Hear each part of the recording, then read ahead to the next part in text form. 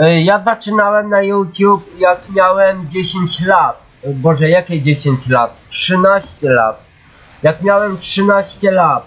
Jak miałem 13 lat, to zacząłem na YouTube. I minęło 10 lat. 13, 14, 15, 16, 17, 18, 19, 22 lata. 13, 22, czyli 10 lat.